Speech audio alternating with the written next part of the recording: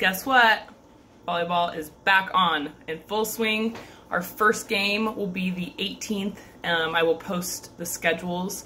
If you have signed up for volleyball, you have to have your physicals. So I have a couple girls who still don't have their physicals, and you won't be able to play until we when we get that going. So I know this is um, Monday, and our first practice was last Friday.